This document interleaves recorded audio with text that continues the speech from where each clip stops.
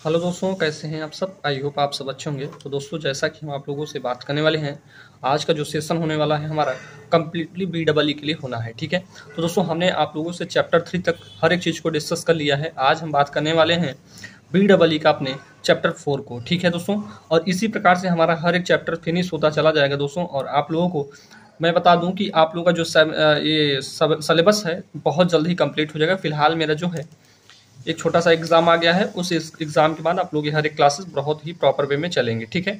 तो दोस्तों, आज के सेशन को स्टार्ट करने से पहले आप लोगों से एक छोटा सा रिक्वेस्ट कि अगर आप लोग चैनल पे नए भाई तो चैनल को सब्सक्राइब कर लेंगे बेल आइकन को भी प्रेस कर लेंगे। डियर स्टूडेंट्स आप लेक्चर को या वीडियो को ज़्यादा से ज़्यादा शेयर किया करिए, आप लोगों को इससे ज़्यादा फ़ायदा होने वाला है। अब फ़ायदा क्या होगा दोस्तों? आप लोगों की प्रॉपर वे में क्लासेस लगना स्टार्ट हो जाएँगी बट आप लोगों को क्लासेस को ज़्यादा से ज़्यादा शेयर कर देना है, ठीक है? अब देखिएगा, कोई किसी भी मतलब कि देखिएगा सब्सक्राइबर आप लोग जानते ही हैं, कितने हैं। फ़िलहाल इनको एक बार इंक्रीज करिए, ठीक है? देखिएगा दोस्तों, यहाँ पे हम बात करेंगे, अपना चैप्टर नंबर फोर होगा, जो जिसे हम बोलेंगे इलेक्ट्रोमैग्नेटिक इंडक्शन बैटरी है दोस्तों बैटरी जो मेरा रहेगा चैप्टर नंबर फाइव रहेगा। अब देखिएगा दोस्तों जो हमारा इलेक्ट्रोमैग्नेटिक इंडक्शन है, यहाँ पे क्या क्या चीज़ें पढ़ना है हमें, ठीक है? Concept of electromagnetic field production by produced by flow of electric current ठीक है? इस टॉपिक को भी पढ़ेंगे, उसके बाद हमारा मैग्नेटिक सर्किट आ जाएगा। हमारा बेसिकली यही टॉपिक जो है इंपॉर्टेंट रहेगा, ठीक है? कि हम अगर किसी मैग्नेटिक फ़ील्ड के या फिर कोई मैग्नेटिक फ़ील्ड होगा, उसमें कोई कंडक्टर्स रख देंगे तो उस कंडक्टर्स पे हमारा करंट का क्या प्रभाव पड़ेगा, ठीक है? तो देखिएगा दोस्तों, इसको भी ध्यान में रखेंगे हम, उसके बाद हमारा मैग्नेटिक सर्किट आ जाएगा, जो कि मोस्ट इंपॉर्टेंट रहेगा, ठीक है? मैग्नेटिक सर्किट आप लोगों की मोस्ट इंपॉर्टेंट रहे, इसमें हमें पढ़ना है कॉन्सेप्ट ऑफ़ यहाँ पे एम के बारे में पढ़ना है, फ्लक्स के बारे में पढ़ना है रिलेक्टेंस है, दोस्तों परमेबिलिटी है, उसके बाद हम पढ़ेंगे analogy between electric and magnetic circuit के बारे में, ठीक है? तो दोस्तों क्लास को स्टार्ट करने से पहले, अगर आप लोगों ने अभी तक स्टडी मेगा पॉइंट के ऑफिशियल ऐप पे अपना क्लास को इनरोल नहीं किया है, दोस्तों, जैसा कि मैं आप लोगों को बता दूँ, यहाँ पे आप लोगों की जो है, बहुत ही कम ही क्लासेस लगेंगी, ठीक है?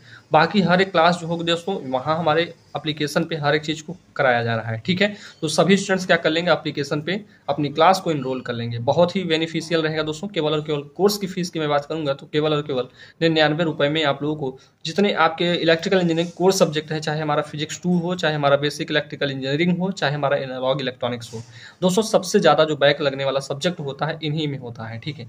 तो इन सब्जेक्ट्स को हम कैसे क्लियर करें? अब मैं आप लोगों को बता दूँ मैथ की भी क्लासेस आप लोगों को स्टडी मेगा पॉइंट के ऑफिशियल ऐप पे अलग से देखने को मिल जाएगी ठीक है। तो वहाँ पे आप लोग हर एक चीज़ को देख पाओगे दोस्तों बट आप लोगों को कोर्स को ज्वाइन करना पड़ेगा। और वहाँ पे हर एक चीज़ को आपको प्रोवाइड किया जा रहा है। इनके इंपॉर्टेंट क्वेश्चंस क्या होंगे, हर एक चीज़ को मैं वहाँ पे बता रहा हूँ, ठीक है? देखिए, अभी से मैं आप लोगों को इंपॉर्टेंट क्वेश्चन सारी चीज़ें अगर देता चलूँगा दोस्तों तो आगे चल के आप लोगों को बहुत ज़्यादा लोड देखने को नहीं मिलेगा, ठीक है? ये सारी चीज़ें हमारी ऐसे ही क्लियर होती चलें, फ़िलहाल इसका सिलेबस थोड़ा बड़ा है, ठीक है? यहाँ पे कम्प्लीटली हमें आठ चैप्टर पढ़ना है दोस्तों, और बताइएगा कि आठ चैप्टर हमें चार महीने में ही पढ़ना है, ठीक है? तो इन चीज़ों को आप लोगों को अच्छे से क्या करना है, हमें जब चीज़ें हमारी हो रही हैं, तभी हम हर हर एक चीज़ को क्या कर लें कंप्लीट कर लें, ठीक है? तो दोस्तों, ये इसका बहुत बड़ा बेनिफिट होगा, अगर आप लोग कोर्स को ज्वाइन करते हैं। देखिएगा, आगे चल के आप लोगों को हर एक चीज़ का पता चलेगा ही कि मैंने कोर्स ज्वाइन किया था, सर, मुझे इतना फ़ायदा हुआ, ठीक है? अगर बैक लग जाएगा भाई तो पाँच सौ रुपये दे के आप लोग रीचेक करवाओगे। मैं कोई मतलब कि हड़का नहीं रहा हूँ कि आप लोगों को डीमोटिवेट कर रहा हूँ। मेरा इसका कोई मतलब नहीं भाई, आप कोर्स ज्वाइन करिए या ना करिए, लेकिन जब आपका बैक लग जाता है तो आप लोग ही आते हो कि, सर, मैं रीचेक डालूँ या स्क्रूटनी डालूँ? ठीक है? तो इस प्रकार से आप लोगों ना बोलना पड़े दोस्तों। अगर एक दो सब्जेक्ट में बैक लग जाता है तो आप लोग अगर स्कूटनी भी, अगर स्कूटनी डालेंगे दोस्तों तो उसका एक सौ लग जाएगा, ठीक है? दो सब्जेक्ट में बैक लगा तो एक सौ उसका चला गया ठीक है? अगर हमारा रीचेक करवाना है दोस्तों तो उसके लिए पाँच सौ रुपये लगता है। तो पाँच सौ रुपये में दोस्तों, हम बता रहे हैं कि अपना हर एक सब्जेक्ट को हर एक सेमेस्टर को पढ़ सकते हो, ठीक है? अगर दो सब्जेक्ट में लग गया तो एक हज़ार रुपये गया। और एक हज़ार में दोस्तों कंप्लीट आप लोग, हर एक सेमेस्टर आप लोग पढ़ पाओगे, मेरी गारंटी है, ठीक है? मैं बताता हूँ दोस्तों आप लोग, आप लोगों के फाइनल ईयर की जो कोर्स की फ़ीस रहे, रहती है, केवल और केवल एक सौ निन्यानवे रुपये सेकेंड सेमेस्टर की जो कोर्स की फ़ीस रहती है सॉरी सेकंड ईयर की जो रहती है दोस्तों, केवल और केवल एक सौ निन्यानवे रुपये तो देख सकते हैं, केवल दो चार सौ रुपये छः सौ रुपये में या पाँच सौ रुपये में ही आप पूरा सेमेस्टर क्लियर कर रहे हो, ठीक है? तो इन चीज़ों को आप लोगों को समझना पड़ेगा दोस्तों, नहीं तो जाके आप लोगों को बहुत बड़ा नुकसान झेलना पड़ेगा, ठीक है? सबसे पहले हम बात करेंगे दोस्तों, यहाँ पे हमारा जो चैप्टर नंबर फोर होगा इलेक्ट्रोमैग्नेटिक इंडक्शन दोस्तों, इसमें थोड़ा सा एक टॉपिक है जिसे हम बात कर लेते हैं मैग्नेटिक ठीक है? मैग्नेट आखिर होता क्या है, इसको थोड़ा समझ लेंगे। आगे चल के फ़िलहाल मैं एक बार फिर से बात करूँगा मैग्नेट के बारे में, लेकिन यहाँ पे भी मैग्नेट के बारे में बातें होनी चाहिए, ठीक है? तो देखिएगा दोस्तों मैग्नेट की बात जब भी की जाएगी तो यहाँ पे हम आप लोगों से सबसे पहले बात करेंगे मैग्नेट के बारे में मैग्नेट होता क्या है, ठीक है? तो सभी लोगों को पता है दोस्तों कि मैग्नेट का काम क्या होता है, जिसे हम हिंदी में चुंबक बोलते हैं, ठीक है? इसे और कुछ नहीं समझेंगे भाई, चुंबक यानी मैग्नेट ठीक? अब देखिए मैग्नेट का काम क्या होता है दोस्तों? यह किसी वस्तु को क्या करता है? आकर्षित या प्रतिकर्षित करने का काम करता है। और दोस्तों, यहाँ पे इनके गुण के अकॉर्डिंग मैं बात करूँगा। अगर लोहा रहेगा, ठीक है मैग्नेटिक मटेरियल मैग्नेटिक मटेरियल वे मटेरियल होते हैं मैं मैग्नेटिक मटेरियल बोलूँगा दोस्तों तो इसका मतलब होगा कि वह पदार्थ जो लोहे को क्या कर रहा हो, या बोल सकते हैं कि मैग्नेट लोहे को आकर्षित कर रहा हो, उसे हम मैग्नेटिक मटेरियल बोलेंगे, ठीक है? अब देखिए कि मैग्नेट क्या होता है दोस्तों, यह क्या करता है? यह किसी वस्तु को आकर्षित या प्रतिकर्षित करने का काम करता है। केवल यह आकर्षित करने का काम ही नहीं करता, बल्कि दोस्तों यह प्रतिकर्षित करने का भी काम करते हैं। तो दोस्तों, यहाँ पे मैग्नेट के बारे में छोटा सा डेफिनेशन लिख लेंगे। यह यह इसकी, अगर मैं बात करूँगा, इसका कलर कैसा होता है? यह काला रंग का होता है, ठीक है? और दोस्तों, अगर मैं पूछूँ मैग्नेट किससे कहते हैं तो लिखेंगे, इसमें आकर्षण और प्रतिकर्षण का गुण पाया जाता है, ठीक है? प्रतिकर्षण का गुण पाया जाता है। नोट्स जब बनाएँगे दोस्तों तो सबसे पहले इसको भी लिख लेंगे आप लोग, ठीक है? मैंने क्या कहा? मैग्नेट में आप लोग को दो पॉइंट बताया मैंने दोस्तों कि इसका जो कलर की बात की जाएगी तो काला रंग का होगा ये। और बात करेंगे इसकी प्रॉपर्टी की बात करेंगे दोस्तों तो इसका, इसके, इसका क्या गुण होता है? इसका गुण होता है, इसमें आकर्षण और प्रतिकर्षण का गुण पाया जाता है। यानी कहने की बात यह है दोस्त कि अगर हम बात करेंगे आकर्षण कब होगा दोस्तों और प्रतिकर्षण कब होगा? तो दोस्तों, मैं यहाँ पे एक मैग्नेट की बात करता हूँ। मैग्नेट बेसिकली आप लोगों ने गोला टाइप का देखा होगा, जो कि आप लोग अपने घर में यूज़ किए हुए बाजा होगा, ठीक है? बाजा मतलब रेडियो जिसे बोलते हो, ठीक है? रेडियो हो गया और डीबीडी हो गया, इन सारी चीज़ों, या टीवी हो गया, इन सारी चीज़ों में से जब टीवी हमारी खराब हो जाती है तो उसमें से मैग्नेट आप लोग निकाल लेते हो, ठीक है? पीकर में लगा होता है तो उसमें से क्या करते हैं, मैग्नेट निकालते हैं बेसिकली वो गोला कलर का होता है। लेकिन हम बात करते हैं दोस्तों, अपने इलेक्ट्रिकल इंजीनियरिंग में तो यहाँ पे हम इस प्रकार से मैग्नेट को एज्यूम करके चलते हैं। किस प्रकार से? इस प्रकार से। दोस्तों, इस साइड में मान लेता हूँ, कहीं पे भी मेरा नॉर्थ पोल होगा, ये मेरा क्या हो जाएगा? साउथ पोल होगा। एक मैग्नेट जो होगा, दोस्तों, उसमें हमारे दो ध्रुव होंगे, सदैव, ठीक है? एक मैग्नेट में सदैव हमारे दो ध्रुव होंगे, एक हम बोलेंगे, या दो पोल बोल सकते हैं, दोस्तों। दो पोल कौन सा होगा? एक नॉर्थ पोल होगा, एक साउथ पोल होगा। और दोस्तों, आप लोगों को इसकी प्रॉपर्टी के बारे में सबसे पहले ध्यान रखना है कि जो इसमें मैं बात करूँगा जब भी मैग्नेटिक लाइंस की, ठीक है? यानी चुंबकीय बल रेखाओं की जब भी बात किया जाएगा तो चुंबकीय बल रेखाएँ जो होती हैं दोस्तों, नॉर्थ पोल से चल के साउथ पोल पे समाप्त होती हैं। इस पॉइंट को आप लोग ध्यान रखेंगे कि हमारी चुंबकीय बल रेखाएँ जो होती हैं, यहाँ से चलेंगी दोस्तों, यहाँ से हमारी चलती हुई दिखेंगी और यहाँ पे हमारी खत्म होती हुई दिखेंगी, ठीक है? इसी प्रकार से मैं यहाँ से बोलूँ, नॉर्थ पोल से चलेगी और हमारे साउथ पोल पे खत्म हो जाएगी, ठीक है? फिर से हमारी ये जो चुंबकीय बल रेखाएँ होती है, हमारी एक दो नहीं होती है दोस्तों बल्कि अनलिमिटेड होती है। कितनी होती है? अनलिमिटेड होती है ऐसे ऐसे हमारी बहुत सारी चुंबकीय बल रेखाएँ जो होती है, निकलती रहती हैं। ये तो बात हो गई चुंबक के बाहर की। ठीक है दोस्तों, इस प्रकार से आप लोग नोट कर देंगे। अब बात करेंगे दोस्तों, अगर हम बात कर रहे हैं चुंबक के बाहर, चुंबकीय बल रेखाएँ जो होती हैं, क्या होती हैं? नॉर्थ पोल से साउथ पोल की ओर जाती हुई देखने को मिलती हैं। बट वहीं हम बात करेंगे दोस्तों, अपने चुंबक के अंदर। तो चुंबक के अंदर जो होती है मैग्नेटिक लाइंस दोस्तों, ये हमारी नॉर्थ सॉरी साउथ पोल से, साउथ पोल से नॉर्थ पोल की ओर जाती हुई देखने को मिलती हैं। ठीक है, क्या लिखेंगे? चुंबक के बाहर हमारी चुंबकीय बल रेखाएँ, चुंबक के बाहर हमारी चुंबकीय बल रेखाएँ जो होती हैं नॉर्थ पोल से साउथ पोल की ओर जाती हुई देखने को मिलती हैं तथा चुंबक के अंदर साउथ पोल से नॉर्थ पोल की ओर जाती हैं। ठीक है? इस प्रकार से लिखेंगे दोस्तों। अगली बात। अब दोस्तों, ये तो हो गई हमारी चुंबकीय बल रेखाएँ। अब देखिएगा दोस्तों, चुंबकीय बल रेखाएँ जो होती हैं, बहुत सारी चुंबकीय नंबर ऑफ़ मैग्नेटिक्स लाइंस जो हैं, बहुत सारी होती हैं। ये अनलिमिटेड होती हैं, फ़िलहाल मैंने दो तीन दिखाया है। लेकिन ये अनलिमिटेड होती हैं जिनको आप लोग काउंट ही नहीं कर पाओगे। ठीक है? तो यहाँ पे जो हमारी चुंबकीय बल रेखाएँ, चुंबकीय बल रेखाएँ हैं दोस्तों, इनका बहुत सारा जब समूह हो जाता है तो उसको हम बोलते हैं चुंबकीय फ्लक्स। क्या बोलेंगे दोस्तों? चुंबकीय फ्लक्स। तो क्या कहेंगे कि चुंबकीय बल रेखाओं के समूह को हम चुंबकीय फ्लक्स बोलते हैं। क्या कहा दोस्तों? चुंबकीय बल रेखाओं के समूह को चुंबकीय फ्लक्स कहते हैं, जिसे हम फ्लक्स की जब भी बात की जाएगी तो उसे हम फाई से डिनोट करेंगे। यही दोस्तों हम जब बात कर रहे थे इलेक्ट्रिकल, इलेक्ट्रिक लाइन्स की, या फिर हम बोलेंगे विद्युत बल रेखाओं की बात कर रहे थे तो विद्युत बल रेखाओं में क्या होता था कि हमारी विद्युत बल रेखाओं के समूह को हम क्या कहते थे दोस्तों? वहाँ पे हम कहते थे, फ्लक्स कहते थे, ठीक है? वहाँ पे भी हमारा फ्लक्स होता था, लेकिन वहाँ पे हमारा विद्युत फ्लक्स होता था, ठीक है? इस बात को ध्यान रखिएगा। अब दोस्तों, चुंबकीय फ्लक्स और विद्युत फ्लक्स में थोड़ा सा अंतर है दोस्तों। इस बात को अभी आप लोगों को आगे चल के पता चलेगा। हर एक चीज़ पता चलेगा बट आप लोगों को थोड़ा सा धैर्य बनाना होगा। अब दोस्तों, हम बात कर यहाँ पे, ये पॉइंट तो आई होप आप लोग क्लियर हो गया होगा। अब मैं बात करूँगा आकर्षण और प्रतिकर्षण का मतलब क्या होता है सर इसको भी समझा दीजिए। तो दोस्तों, कभी भी आप लोग एक चीज़ समझ लीजिए, कोई भी मैग्नेट लिए हो, उसको बार बार आप तोड़ते चले जाइए, कितने भी टुकड़े कर दीजिए, लेकिन सदैव उसमें दो ही पोल बनेंगे। कौन कौन से पोल बनेंगे सर एक नॉर्थ पोल होगा, एक साउथ पोल होगा। तो हमने क्या कहा दोस्तों? जब भी हम मैग्नेट को हज़ारों टुकड़े कर देंगे, लेकिन उसमें सदैव हमें दो ही पोल देख दो ही पोल देखने को मिलेगा। एक हमारा नॉर्थ पोल होगा, एक साउथ पोल होगा। तो दोस्तों, हम यहाँ से बोल सकते हैं कि मान लेते हैं कि मेरा एक मैग्नेट है, मैंने इसको तोड़ा। इस मैग्नेट का हमारा, ये मान लेते हैं नॉर्थ पोल है, और इस मैग्नेट का मेरा ये साउथ पोल है, ठीक है? तो ये पूरा हमारा क्या हो जाएगा? कंप्लीट मैग्नेट हो जाएगा। अब दोस्तों, जब भी बात की जाएगी, हम मैग्नेट को तोड़ ताड़ के यहाँ पे बताने की कोशिश कर रहे हैं कि मैग्नेट को तोड़ रहे हैं। मान लीजिए दोस्तों, ये मेरा नॉर्थ पोल है और एक मेरा और नॉर्थ पोल हो गया। तो इसमें क्या होगा? ठीक है? अब दोनों, ये दोनों आप लोगों ने देखा होगा दोस्तों कि जब दो चुंबक लेके आप लोग, अगर उनका हमारा जो है ध्रुव यानी पोल जब हमारे समान होते हैं, ठीक है? तो अगर आप लोग पोल को समान कर देंगे दोस्तों तो ऐसे ऐसे करेंगे, ये चुंबकवा भागता चला जाएगा। ऐसे ऐसे करेंगे, चुंबकवा भागता चला जाता है, ठीक है? ये चीज़ें आप लोगों ने किया है। वही चीज़ होता है दोस्तों, वहाँ पे क्या होता है कि वही मेरी पोलैरिटी जो होती है पोल्स की जो पोलैरिटी होती है, वो डिफरेंट हो जाती है। और डिफरेंट पोलैरिटी पे क्या होगा? ये मैग्नेट जो होगा, इसको धक्का देगा, ठीक है?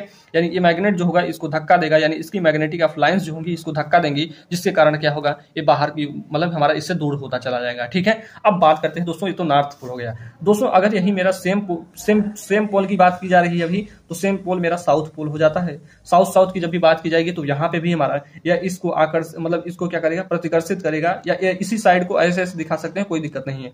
तो इस मैग्नेट को दूर भेजने का काम करेगा। तो हमने ये बोला, दोस्तों, ये दूर भेजा किसके द्वारा जाता है? तो मैग्नेटिक लाइन्स के माध्यम से ही इनको दूर भेजा जाता है। यानी चुंबकीय बल रेखाओं के द्वारा ही इनको दूर भेजा जाता है। ठीक है? अब देखिएगा, दोस्तों, ये तो हमारी पहली पॉइंट हुई। यहाँ पे हम दूसरी पॉइंट की बात करेंगे, दोस्तों। अगर हम बात करेंगे, अगर हम बात कर रहे हैं, दोस्तों, कि जब हमारा पोल्स जो हैं मतलब कि डिफरेंट डिफरेंट हो, ठीक है? मैं मान लेता हूँ यहाँ पे मेरा साउथ पोल है और यहाँ पे मेरा नॉर्थ पोल है तो दोनों यहाँ पे मेरा नॉर्थ है तो दोनों मैग्नेट एक दूसरे को क्या कर लेंगे? आकर्षित कर लेंगे, ठीक है? ये इधर आएगा, ये इधर आएगा, ठीक है? सॉरी ये दोनों क्या हो जाएँगे? आकर्षित कर लेंगे, एक दूसरे को चिपका लेंगे, ठीक है? तो यहाँ पे क्या हो जाएगा? आकर्षण हो जाएगा, ठीक है? लिख देंगे आकर्षण। अब दोस्तों, मान लेता है मैं मैं मान लेता हूँ ये नॉर्थ पोल है और ये साउथ पोल है तो ये दोनों मैग्नेट क्या करेंगे? एक दूसरे को आकर्षित कर लेंगे, ठीक है? तो यहाँ पे भी लिख दें आकर्षण, ठीक है? लेकिन प्रतिकर्षण का काम तभी होगा जब दोनों मैग्नेट क्या होंगे? दोनों मैग्नेट हमारे, यहाँ पे ऐसे ऐसे दोनों साइड दिखा देंगे, इससे क्या होगा कि हमें पता चलेगा कि प्रतिकर्षण हो रहा है, ठीक है? देखिएगा। अब दोस्तों, यहाँ पे एक चीज़ समझिएगा कि हम बात करें, अगर हमारा डिफरेंट डिफरेंट पोलरिटी होगी, यानी डिफरेंट पोल्स होंगे तब तब हमारा जो होगा, आकर्षण होगा और सॉरी जब हमारे डिफरेंट पोल होंगे, तब हमारा आकर्षण होगा और जब हमारे सेम पोल हो जाएँगे तो हमारा प्रतिकर्षण होगा। तो ये दोनों केस जो लिखा गया है दोस्तों, ये हमारे प्रतिकर्षण के लिए है, ठीक है? तो इतनी बातें आप लोगों को ध्यान रखनी थी, ठीक है? तो इसके जो हमारे प्रॉपर्टीज़ हैं दोस्तों, इनको मैं आप लोगों को आगे चल के फ़िलहाल बताऊँगा फिर से।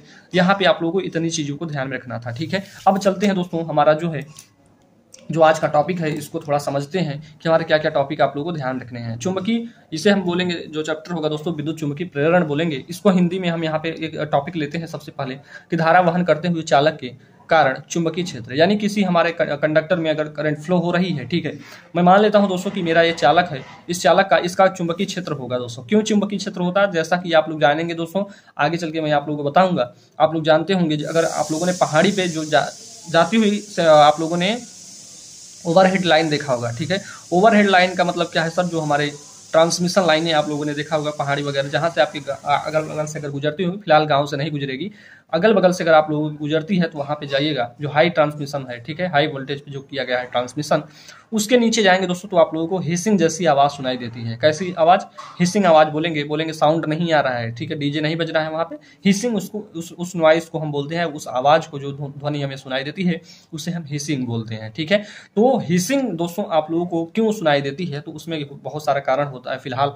लेकिन एक चीज़ मैं बताना चाहूँगा कि वहाँ पे अगर आप लोग उस कंडक्टर्स के पास अगर दोस्तों दो से तीन मीटर पहले ही है तो उसका आप लोगों को मैग्नेटिक लाइंस जो होंगी दोस्तों आपको डिस्टर्ब करने के लिए तैयार रहती हैं, ठीक है? तो यह कहा जा रहा है दोस्तों, इस चुंबक के चारों ओर क्या बन जाता है? चुंबकीय क्षेत्र बन जाता है, ठीक है? यह चुंबकीय क्षेत्र जो होता है दोस्तों आयनाइज होता है, इसमें करंट का गुण होता है मतलब किसी, जैसे करंट का गुण क्या होता है दोस्तों? करंट का मतलब होता है कि वह अगर उस फ़ील्ड में कोई व्यक्ति जाता है तो उसको क्या कर देगा?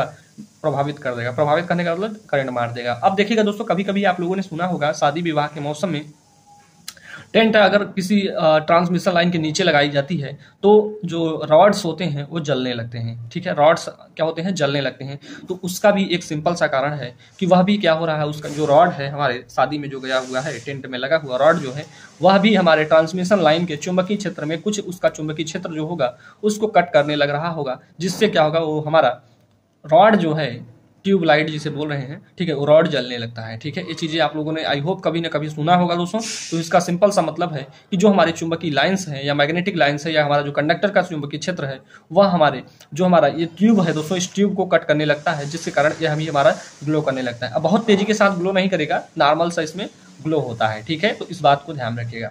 अब दोस्तों हम बात करते हैं धारावाही धारा किसी हमारे कंडक्टर में अगर धारा फ्लो कर रही है तो उसके लिए हमारा चुंबकीय क्षेत्र क्या होता है, ठीक है? देखिएगा। सर्वप्रथम इस बात जो किसने बताया था दोस्तों, इसको किसने देखा था? और एक वैज्ञानिक है दोस्तों, इसने देखा था और इसने प्रयोग किया था, ठीक है? क्या प्रयोग किया था दोस्तों? कि हम एक मैग्नेटिक मैग्नेट लेते हैं, बार मैग्नेट और उसको एक स्टैंड वगैरह सारी चीज़ों पर स्थापित करके कंडक्टर के पास, उसमें धारा को प्रवाहित करके कंडक्टर के पास ले जाया जाता है। तो उसमें भी जो कंडक्टर होता है जो चुंबक होता है दोस्तों, अगर उसमें हमारा धारा का प्रवाह किया जाता है दोस्तों तो धारा का प्रवाह जब किया जाएगा तो उस कंडक्टर के चारों ओर चुंबकीय क्षेत्र बन जाता है। और दोस्तों, जब हम चुंबक को अपना यहाँ पे लटकाए रहते हैं, देख सकते हैं चुंबक जो बना हुआ है, ये चुंबक हमारा नॉर्मल कंडीशन में कुछ इस प्रकार से रहता है, जो डॉटेड लाइन में दिखाया गया है। दोस्तों, जैसे ही हम इसमें क्या करते हैं करंट को फ्लो करवाते हैं तो ये जो मैग्नेट है, दोस्तों, मान लेते हैं नॉर्थ पोल है या साउथ पोल है, कोई भी हो, लेकिन यहाँ पे अगर हमारा हमारा कोई भी यहाँ पे पोल या कोई भी पोल हमारा जनरेट होता है तो ये जो ये जो हमारा चुंबक का, यानी मैग्नेट का जो पोल है दोस्तों, आकर्षित कर लेता है। कहने की बात है, दोस्तों, अगर इसकी मैग्नेटिक लाइन्स है, दोस्तों, मैग्नेटिक लाइन्स जो होंगी ये इसकी मैग्नेटिक लाइन्स इसकी मैग्नेटिक लाइन्स अगर हमारा डिफरेंट डिफरेंट रहेगी तो इसको आकर्षित कर लेता है। इसका मतलब उसने पाया कि जो हमारा कंडक्टर होता है, उसमें भी हमारा चुंबकीय प्रभाव देखने को मिलता है, ठीक है? तो देखिएगा दोस्तों, इसने क्या कहा? कहा है कि सर्वप्रथम चुंबकीय क्षेत्र को डिफाइन करने के लिए ऑरेस्टेड ने प्रयोग किया, ठीक है? और अपने प्रयोग में पाया कि जब किसी चालक चालक में धारा प्रवाहित की जाती है, मान लीजिए कि हमारा कोई कंडक्टर होगा दोस्तों, ये कंडक्टर हमने आप लोगों को दिखाया है, इसमें हमने क्या किया? धारा प्रवाहित किया। तो इसके चारों ओर एक चुंबकीय क्षेत्र उत्पन्न हो जाता है, ठीक है? तो क्या उत्पन्न हो जाता है दोस्तों? चुंबकीय क्षेत्र उत्पन्न हो जाता है और इस टॉपिक को आप लोगों को यहाँ से ध्यान समझना है, ठीक है? तो चुंबकीय क्षेत्र उत्पन्न हो जाता है दोस्तों तो इसको देख सकते हैं, हमारा एक क्या कहा क्या कि हमने बताया कि मैग्नेट है दोस्तों, ये हमारा नॉर्मल कंडीशन में है, जब इसमें हमने चालक में धारा प्रवाहित किया, यहाँ बैटरी के माध्यम से हमने धारा प्रवाहित किया दोस्तों तो इसमें क्या हुआ? इसका हमारा जो चुंबकीय क्षेत्र होगा, चालक का चुंबकीय क्षेत्र, हमारे मैग्नेट के चुंबकीय क्षेत्र से क्या कर लिया? आकर्षित कर लिया, ठीक है? तो कहने की बातें हैं दोस्तों कि हमारे चालक में भी क्या होता है? मैग्नेटिक फ़ील्ड यानी मैग्नेटिक अफ्लायंस होती है। वन मिनट दोस्तों, आज के सेशन को यहीं पे स्टार्ट करते हैं और मिलते हैं आप लोगों से नेक्स्ट लेक्चर में, तब तक के लिए जय हिंद, जय भारत।